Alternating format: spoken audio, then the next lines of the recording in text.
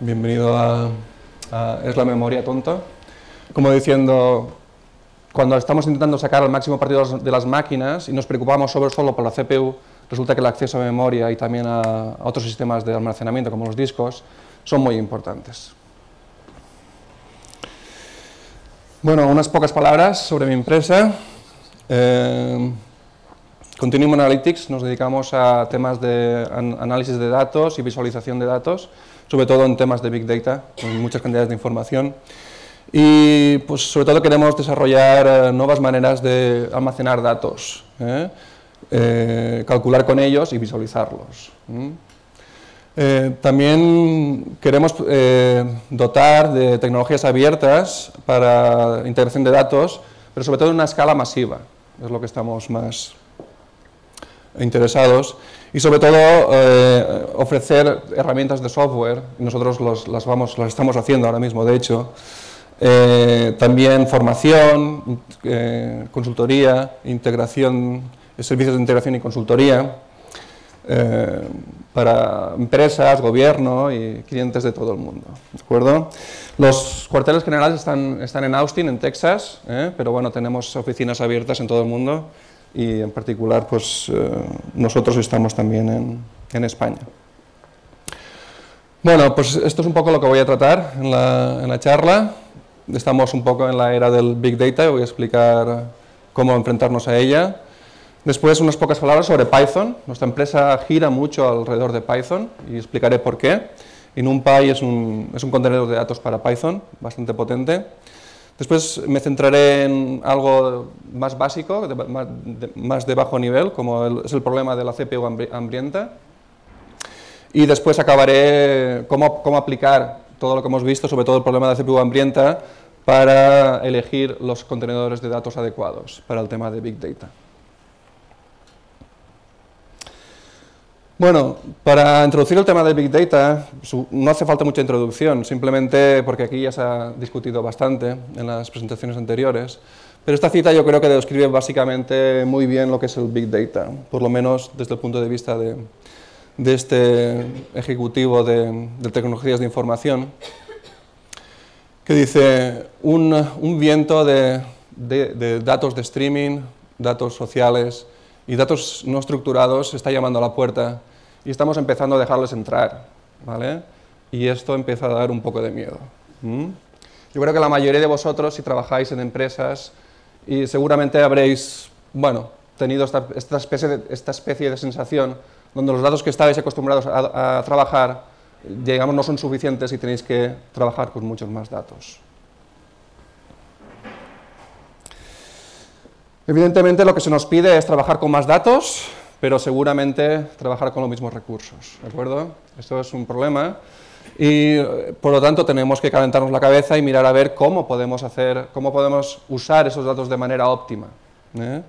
o nuestros recursos, perdón, de manera óptima para sacar el máximo partido de, del Big Data.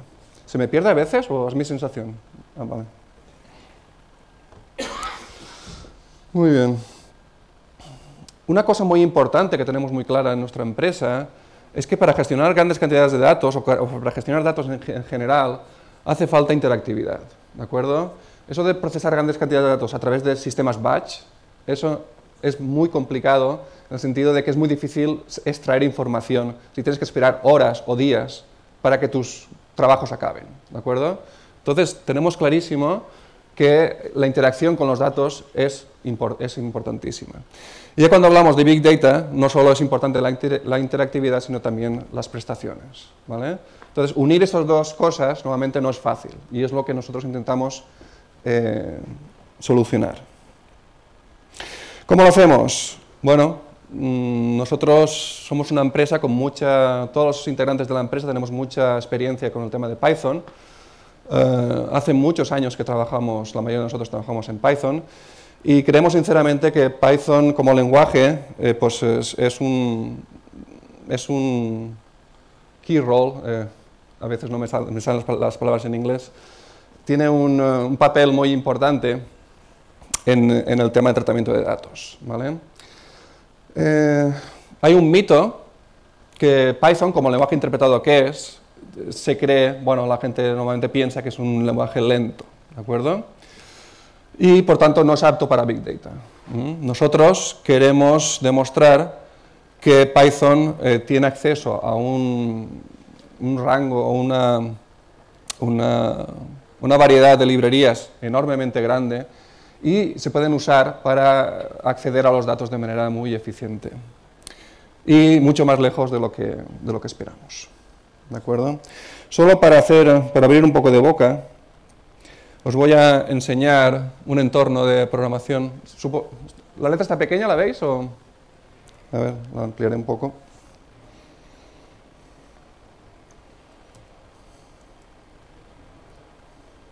¿Así mejor? Sí, ¿no? Bueno, esto es un entorno, esto es lenguaje Python, esto es un entorno que, esto está en el navegador, ¿eh? Y, bueno, lo que permite es, usando el lenguaje Python, pues hacer diferentes, diferentes cosas. Por ejemplo, vamos, una cosa muy sencilla que vamos a probar es importamos una librería que se llama NumPy. ¿Cuántos de vosotros eh, habéis oído hablar de Python? Vale. ¿Cuántos lo usáis diariamente en vuestro trabajo? Vale, menos. Pero bueno, hay, hay gente que lo usa. Está bien. Bueno, pues... Eh, Importamos, por ejemplo, NumPy, que es la librería... ¿Sí? ¿El plot qué pasa? Has escrito... Ah, pues sí, sí. Gracias. Muy bien. Entonces, pues bueno, aquí lo que vamos a hacer es crear un, vector de 10 millones de elementos, por ejemplo aquí. Y lo que queremos básicamente es, es calcular un polinomio, ¿vale? Una cosa muy, muy sencillita pero para que os deis cuenta que en Python pues eh, realmente se puede hacer en muy poco, en muy poco código, ¿eh? y además bastante legible. ¿eh? Esto es el número de, puntos, y esto es la función de NumPy que permite crear una serie de puntos uniformemente espaciados ¿vale? en el eje X. Lo hacemos, ya hemos acabado, y después vamos aquí, y simplemente para calcular el polinomio, eh, ponemos la expresión del polinomio tal cual, aquí, con x, que ya es el vector que hemos creado, digamos, y ya lo hemos ejecutado, ¿de acuerdo? Entonces, si queremos ver el contenido de eso, podemos eh, aquí imprimir eh, y, y aquí está la array resultante.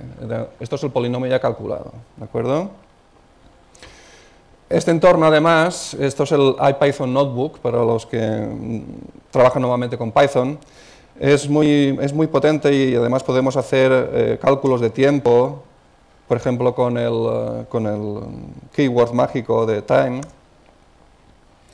Y, por ejemplo, aquí nos da pues, el tiempo que tarda esto en ejecutarse. ¿vale? Después diríamos, pues bueno, queremos también ver un, hacemos un plot a ver cómo, se ve esto, ¿de acuerdo? Cómo se ve el polinomio. Y aquí tenemos una representación de cómo se ve el polinomio. ¿eh? Todo esto de manera interactiva, ¿de acuerdo? Aquí nos ha costado un poco el plot, entonces podemos decir, pues bueno, no queremos, digamos, representar 10 millones de puntos, pues decimos, solo queremos representar cada mil puntos, por ejemplo. Pues eso se hace así, con Python y NumPy. Y ahora, pues, digamos, se ha representado ha salido mucho más rápido el plot, ¿eh? pero mucho más, eh, digamos, y no nos hace falta tanta resolución, ¿de acuerdo? Por ejemplo, decimos, pues bueno, ¿qué pasaría si cambiamos los parámetros aquí? Una cosa que un analista de datos a lo mejor hace mucho, ¿vale? Recalculamos otra vez y hacemos el, hacemos el plot aquí. y vemos cómo el gráfico evidentemente cambia. ¿De acuerdo? Digamos, esto es un, ejemplo muy sencillo, pero bueno, lo que, lo que quiero decir es que Python viene muy bien para hacer todo este tipo de manipulación, digamos, interactiva. Y además lo puede hacer muy rápido. Las librerías que he usado aquí, que son uh, NumPy y Matplotlib, están hechas en C, ¿de acuerdo? Python es simplemente el lenguaje a través del cual se llaman estas, eh, estas librerías. Bueno, durante, durante mi charla voy a hablar también un, poco de, otras librerías. Bueno, eh, en Python NumPy es el, digamos, el estándar de facto como contenedor de datos. ¿de acuerdo? NumPy es una librería realmente muy, eh, muy bien diseñada y muy eficiente, ¿de acuerdo? Tanto es así que se ha convertido, se ha convertido digamos, en, el, en, la base alrededor del cual se ha construido un ecosistema muy, eh, mm, ah, muy variado, donde existen paquetes para hacer prácticamente de todo, digamos, sin dejar el entorno de Python, ¿de acuerdo? Por ejemplo, hay paquetes para hacer Machine Learning, Scikit-learn, en entornos de desarrollo muy potentes, como el Spider, SciPy, que es un, paquete muy, muy grande de librerías matemáticas, plots en tres dimensiones eh, muy potente también, eh, Pandas, que es un, es un, sistema emergente para gestionar o para analizar datos, em, eh, series temporales de datos, es muy potente. En definitiva, toda una serie de, toda una serie de, de paquetes que permiten hacer realmente cosas muy potentes desde el propio lenguaje.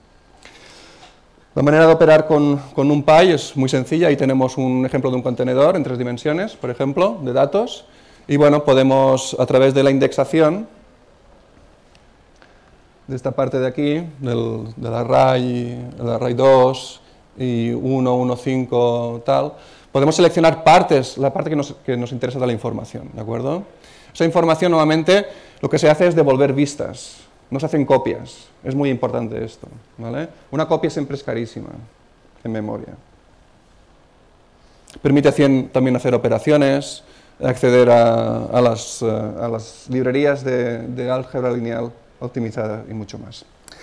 Pero evidentemente nada es perfecto y NumPy también tiene sus limitaciones, ¿de acuerdo? Entonces, por ejemplo, una de las cosas es que cuando está evaluando eh, operaciones con, arrays, lo que tiene que hacer es seguir el orden que le dicta, que le dicta Python. ¿vale? Y esto genera problemas, como vamos a ver después, problemas de, prestaciones. Y después también tampoco tiene soporte directo para multiprocesadores, a menos que se linke con una librería optimizada de, álgebra lineal.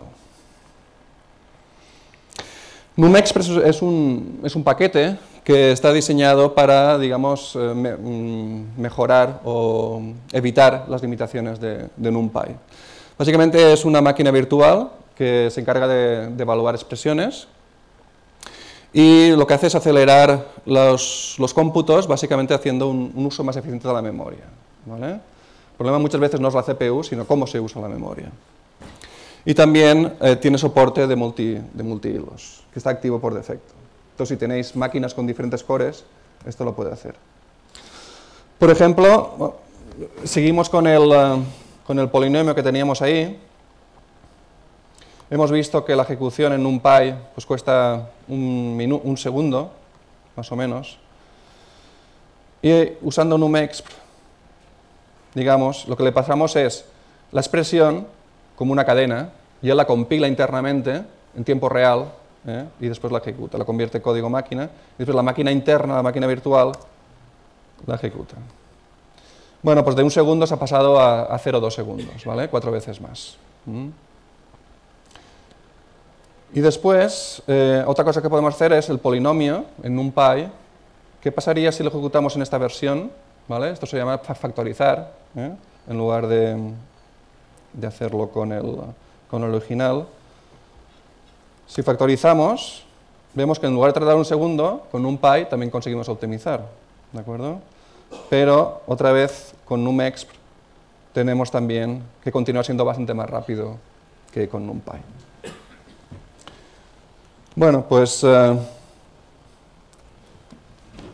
digamos aquí está la, representación de los tiempos en una determinada máquina. Esta es la versión original del polinomio y esta es la versión factorizada. Uh, si, vemos, mm, en, esta, en esta versión, NumEx puede llegar a ser 10 veces más rápido que, que NumPy, ¿de acuerdo? Y en esta menos. Entonces estamos interesados en saber el porqué de estas diferencias, ¿vale? Bueno, la primera, la primera diferencia se explica fácilmente. Aquí tenemos la versión original del polinomio. Y lo que hace NumExp es que se da cuenta que los exponentes de las x son enteros, ¿de acuerdo? Y un entero, y, esa, operación de x al cubo se puede representar como x por x por x. ¿eh? Evaluar x al cubo es mucho más lento, mucho más costoso que x por x por x, ¿de acuerdo? Porque la, máquina, por defecto, no puede entender que 3 es un entero, ¿vale? Entonces tiene que usar la función POW del sistema para evaluar esa expresión, ¿vale? Y eso cuesta muchos ciclos de reloj. Eh, NumExp optimiza eso. Esa es la primera optimización. Pero sin embargo aquí ya no hay exponenciaciones, ¿de acuerdo? Aquí simplemente hay multiplicaciones puras.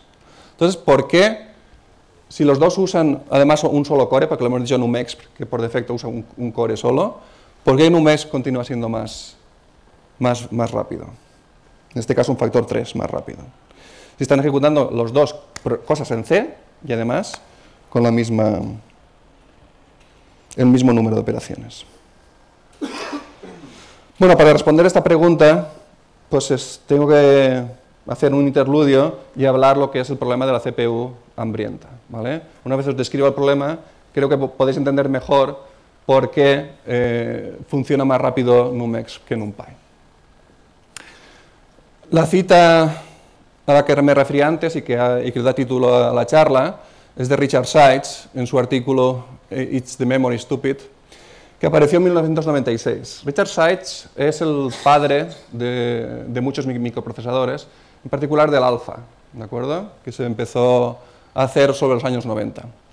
Y él ya se dio cuenta que en toda la industria los chips podían ejecutar código mucho más rápido de lo que se puede alimentar a las CPUs con memoria, con código y con datos. ¿De acuerdo? Entonces él, vio que tampoco tenía mucho sentido continuar aumentando la velocidad de las CPUs si no se aumentaba igualmente la velocidad con la que se podía poner datos en la, propia, en la propia CPU. Para verlo con un poco más de perspectiva, aquí tenemos un gráfico que nos muestra la evolución. En rojo está, o en naranja, la velocidad, el incremento de velocidad en la memoria, con los años, del, 82 al 2007, hay que tengo que actualizarla porque ya está un poco obsoleta, y en verde está cómo, mm, se está incrementando la velocidad de las CPUs. En los años 80 y hasta el 90, más o menos, hasta el año 90, las velocidades eran bastante comparables. Eso quiere decir que cuando la CPU quería un dato, simplemente lo tenía que pedir al sistema de memoria y el sistema de memoria se lo daba instantáneamente. No tenía que esperar. Esto ha cambiado radicalmente conforme pasaban los años. Cada vez la distancia entre las dos líneas es mayor y ahora nos encontramos que las CPUs están paradas la mayor parte del tiempo. ¿De acuerdo? Entonces, no tenemos que preocuparnos demasiado por la velocidad de las CPUs, sino cómo darles datos a las CPUs. Y esto para el tema de Big Data es muy importante. El problema es tan gordo ahora mismo que la gente no, solo publica reseñas o artículos, está publicando libros sobre el tema, ¿de acuerdo? Entonces, uno de los libros que me ha llamado la atención, que se publicó hace tres años, es el sistema de memoria. No lo puedes evitar y no lo puedes ignorar y tampoco lo puedes disimular, ¿de acuerdo? O sea, es un problema gordo, está ahí y hay que, hay que darle solución. Y si queremos que nuestras aplicaciones funcionen rápidas, lo tenemos que tener en cuenta. Ahora mismo, el, el estatus de este problema en, al día de hoy es que la latencia de memoria es mucho más lenta que los procesadores en un factor 250-500. O sea, cuando un procesador pide un dato a la, memoria, tarda entre 250 y 500 ciclos, tiene que esperar para que llegue. el ancho de banda de la memoria está mejorando a un, nivel eh, mejor, pero también continúa siendo eh, más lento que los procesadores particular, cuando se están enviando ráfagas de datos a la CPU, pues, normalmente van más lentos, entre 30 y 100 veces más lentos eh, en llegar a la CPU. ¿De acuerdo?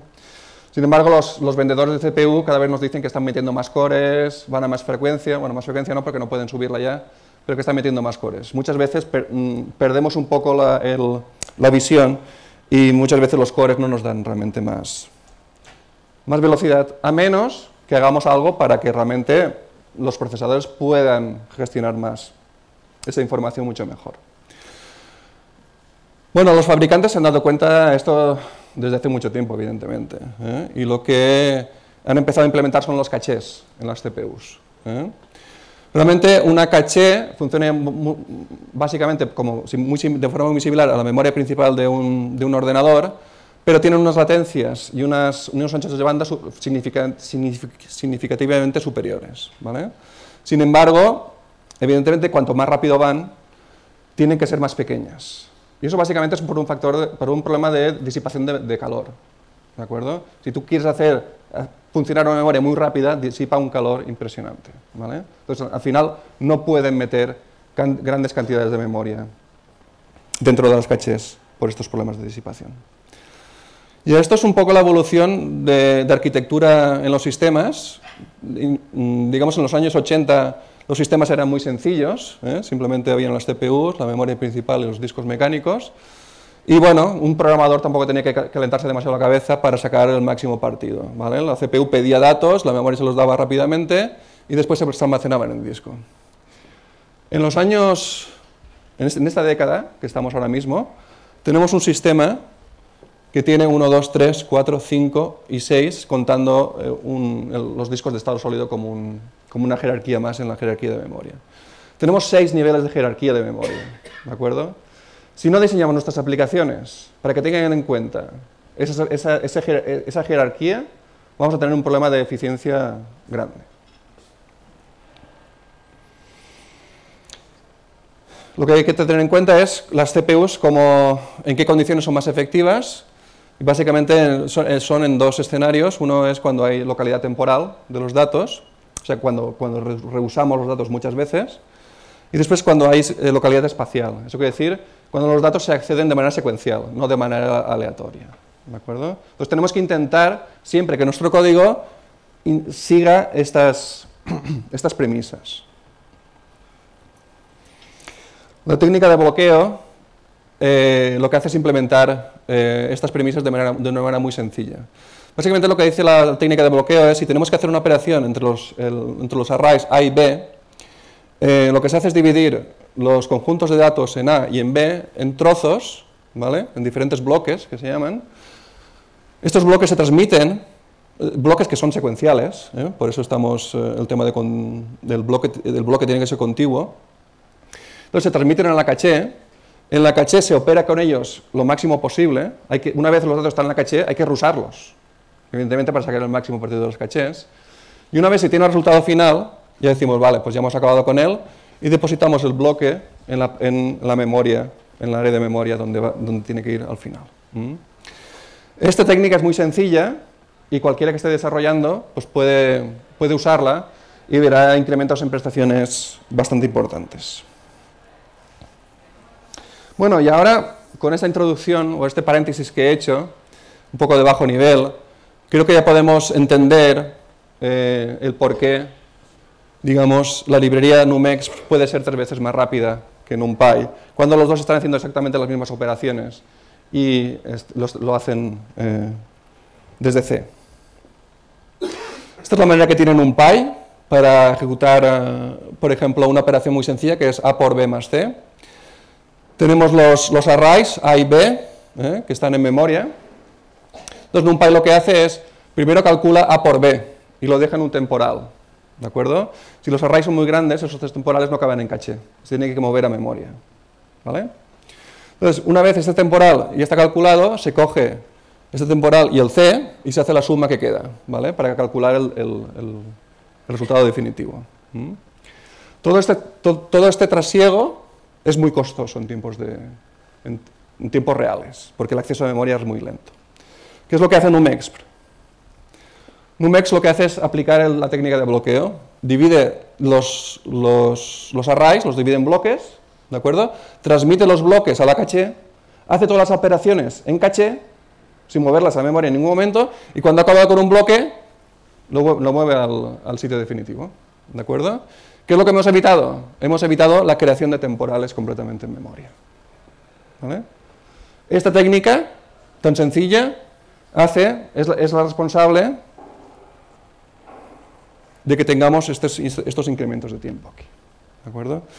Entonces, es muy importante el... Por esto quiero decir que el acceso a memoria ahora mismo es uno de los factores claves. Y cuando digo memoria, digo todo el stack, digamos, de toda la, jerarquía de memorias, incluyendo los discos. Es muy importante a la hora de mm, diseñar aplicaciones eficientes. más que muy importante, es fundamental. Bueno, en nuestra empresa estamos trabajando con una, con una librería que se llama Namba, que va mucho más allá de NumExp, ¿de acuerdo? NumExp también tiene sus limitaciones, como todo, y básicamente las limitaciones es que solo puede trabajar con elementos que pertenecen a la misma, a la misma fila. ¿eh? Básicamente solo puede gestionar índices en estos, en estas computaciones que eh, sean el mismo, o sea, la i aquí en este bucle no puede cambiar. Por ejemplo, esto no se puede ejecutar con NumExp, ¿de acuerdo? Nuestra empresa lo que hemos hecho es eh, hacer otra librería que supera, que mejora o que va, bueno, que elimina estas limitaciones de NumExp. Y básicamente es otro JIT, ¿vale? Es un Just-in-Time Compiler. lo, que, pasa es que puede, eh, digamos, traducir un, subconjunto de Python mucho más grande de lo que puede traducir NumExp, ¿vale? Y lo traduce a un código, digamos, intermedio. Ese código intermedio es código de LVM. No sé si hay gente de aquí que lo conoce, el proyecto, ¿vale? Pero bueno, es una, es una infraestructura es un compilador, pero además viene con una máquina virtual. ¿vale? Entonces, ese código máquina se puede ejecutar en la máquina virtual del proyecto del VM. ¿vale? Esa máquina virtual es muy eficiente. Y el resultado es que esta, esta, librería puede obtener unas prestaciones muy parecidas a, NumEx, pero con mucho, muy parecidas o mejores, pero con más flexibilidad. ¿eh? Aquí describo un poco cómo funciona Numba, se coge una función en Python, ¿eh? simplemente se, escribe, ahora vemos un ejemplo, se pasa a una, a una interfaz LLVM, que, digamos, usa toda la infraestructura de LLVM para generar código para diferentes, que se ejecutan eficientemente para diferentes plataformas, ¿de acuerdo? Plataformas hardware. Puede funcionar con diferentes fabricantes, en particular pues, con, las CPUs típicas de toda la vida de Intel, o también con, GPUs, ¿de acuerdo? Y, todo eso, digamos, se puede hacer desde Python. O sea que es bastante, bastante innovador viendo una función Python correr a velocidades de C en plataformas Intel o en plataformas de GPUs, porque también se puede ejecutar, digamos, en tarjetas gráficas. Aquí hay un ejemplo de cómo funciona Namba. Esto es, esto es una función en, Python y básicamente para usar Namba es, tan sencillo como decorarla. Esto es un decorador en Python ¿eh? Y básicamente lo que decimos es eh, los parámetros de cálculo, en este caso de poly, ¿eh? de qué tipo son y la dimensión. En este caso solo tiene una dimensión, ¿de acuerdo? Con esta información adicional, esto se llama el tipado, ¿eh? digamos, Namba puede compilar esto y genera eh, código LLVM que se puede ejecutar de manera muy eficiente. Vamos a hacerlo en, nuestra, en nuestro ejemplo. Aquí está, ¿vale? Ejecutamos esto. Ahora mismo ya, ya, ya lo ha compilado, la compilación es casi inmediata. ¿eh? Y esto es la ejecución, ¿de acuerdo? Vemos aquí que la ejecución ha tardado 0,12 segundos, cuando antes estábamos tardando con NumEx 0,18 segundos, ¿vale? O sea, esto es casi velocidad, esto es prácticamente velocidad de C, ¿eh?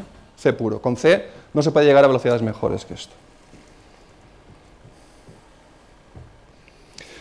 Y aquí hay una tabla ya más o menos definitiva, donde se ve Namba comparado con NumExp para los tipos de polinomio 1 y para el tipo 2, que es el factorizado. Y esto está compilado en C y además paralelizado.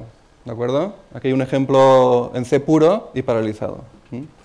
Para el ejemplo optimizado vemos que Numba tarda básicamente lo mismo que la versión en C. ¿eh? Y aunque esta, la función la hemos hecho directamente en Python. Imaginaros la, velocidad de desarrollo que permite esto cuando estáis desarrollando aplicaciones nuevas. En lugar de hacerlo en C, que hay un paso de compilación intermedio, desarrollarlo en Python y con la, convicción de que lo que estáis haciendo va a correr a velocidades, a velocidades eh, muy rápidas en la CPU.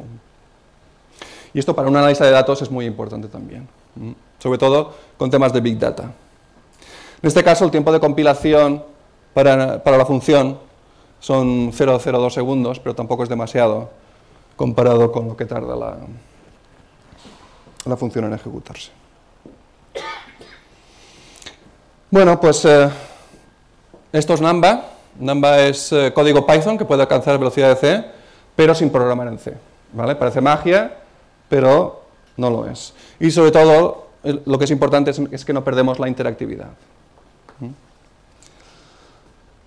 Hace poco, nuestro CEO, no se ve bien en la foto, vaya, se falta un poco de luz.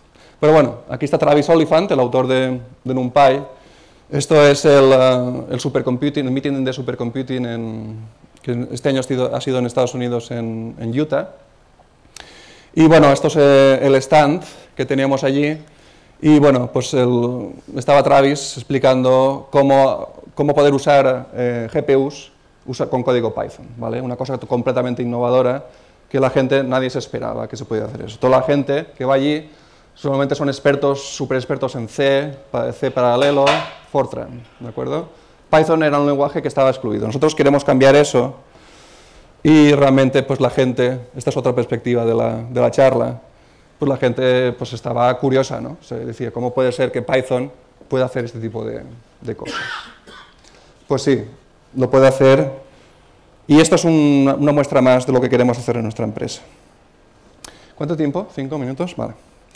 Bueno, y ahora, en los cinco minutos que me quedan, quiero un poco explicar cómo, pensamos aplicar todo esto que, he dicho a los nuevos contenedores para Big Data que estamos eh, pensando en, implementar y que dentro de muy poco tendréis eh, versiones eh, open source para jugar con ellas, si alguien, si alguien tiene interés.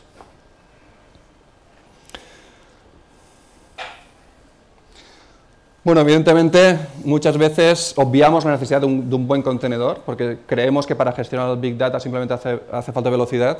Eso es falso, porque dependiendo de cómo almacenas la información, tú puedes conseguir mejores velocidades, o, mejores o peores velocidades. Entonces, digamos, en Continuum estamos muy interesados en, digamos, en encontrar estructuras de datos óptimas para, para, para alcanzar velocidades críticas en, los, en, las grandes cantidades de, o velocidades de, de, de, proceso altas en estos grandes contenedores, ¿de acuerdo? NumPy, por ejemplo, no es un buen contenedor para Big Data, porque, por ejemplo, en Big Data muchas veces lo que queremos es la operación de append, ¿vale? Queremos añadir información. Nuevamente, en, en NumPy lo que se hace es cuando está el, el array en memoria, y se quiere otro contenedor con la suma de los dos, lo que se hace es copiar el, contenedor anterior a, un, nueva área de memoria y en ese momento se copia, ¿de acuerdo? se, se, reserva un área un poco más grande y se hace la copia. Esto realmente, como hemos visto, la operación de copia de memoria es carísima, ¿vale? Esto no es bueno. Lo que estamos pensando en hacer es, eh, para nuestro, nuestro siguiente producto que se llamará Blaze, es implementar eh, contenedores que están discontiguos en memoria. ¿vale? ¿Esto qué, ventaja da? En lugar de que ser un, bloque de memoria todo contiguo, es diferentes bloques pequeños que simulan el, array total. Esto la gran ventaja que tiene es que no requiere copias. ¿De acuerdo? Cuando queremos añadir estos datos aquí al, contenedor, en lugar de hacer la copia, los, los, trozos anteriores se quedan igual y lo que vamos a hacer es comprimir, digamos, el trozo que ya existía, que queremos añadir a un nuevo trozo. Y este nuevo trozo va a formar parte del contenedor. ¿De acuerdo? Esto va a ser muy importante y creemos que va a tener, eh, digamos, mucha, mucha repercusión en la velocidad de los contenedores. He dicho que esto, la información va a estar comprimida, ¿de acuerdo? ¿Por qué queremos comprimir?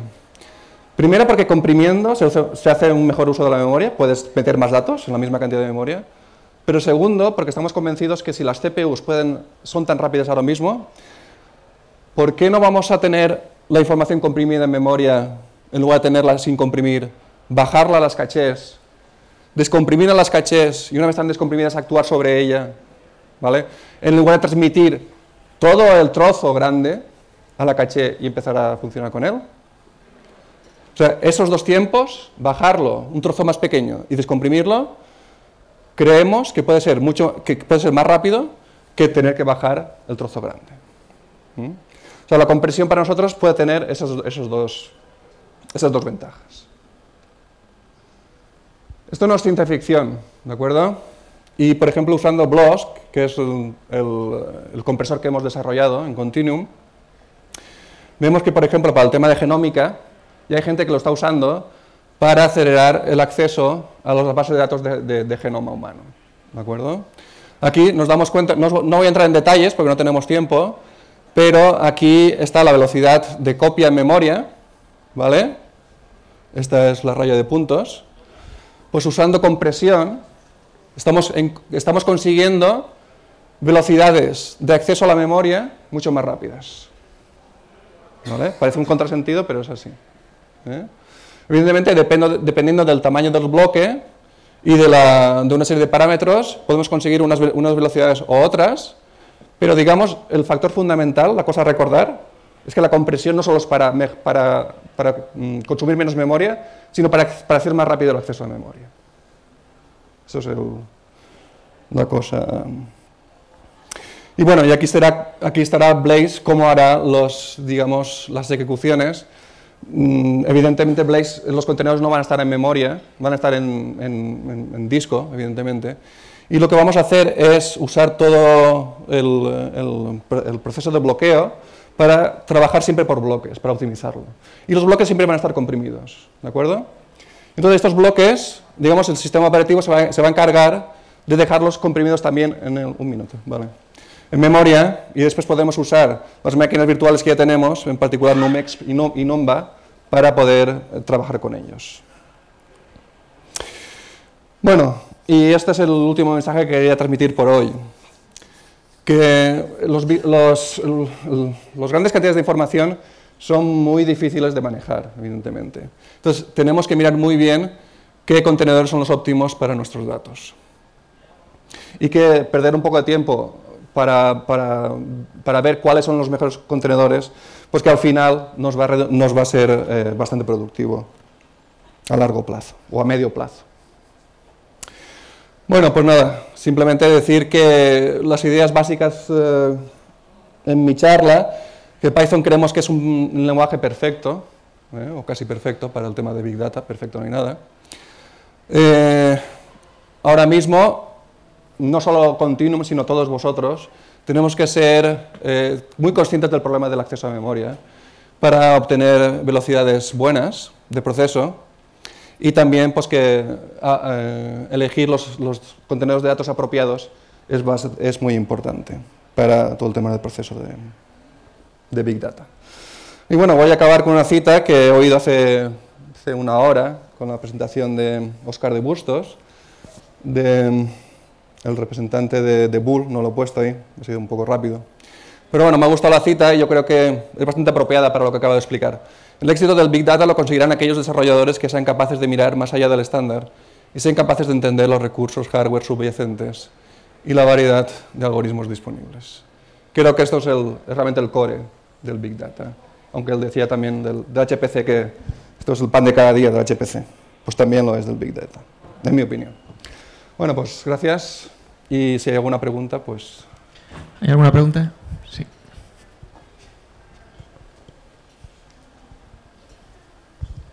Eh, hola, buenas tardes. Buenas. Eh, mira, eh, yo he intentado trabajar, he visto que vuestro NumPa Numba. va sobre una, sobre una máquina virtual que yo no conocía y que trabaja sobre OpenCL, CUDA, tal. RLVM, sí. sí. Yo he intentado hacer trabajos en Python sobre de distintas GPUs y siempre me encuentro con el problema de que al final tengo que hacer el core que se va a ejecutar en la GPU, lo tengo que hacer en C. Eso es el problema, ¿cómo lo solucionáis? Bueno, si los he encontrado es porque, por, ¿por qué? O sea, ¿qué, qué, lenguaje usabas antes? yo uso Python. Python. ¿vale? Pero para hacer el ¿Con qué librerías? El para core, hacer el core, los, sí, el kernel, digamos. El kernel que tengo que subir a la GPU, tengo que hacerlo en C. Eso lo, hace, eso lo va a hacer eso lo está haciendo automáticamente. Lo, iba a decir, lo, lo, va a hacer, no, lo está haciendo ya con la última versión de Numba, la versión comercial Numba Pro, que acabamos de, de publicar esta semana, justamente.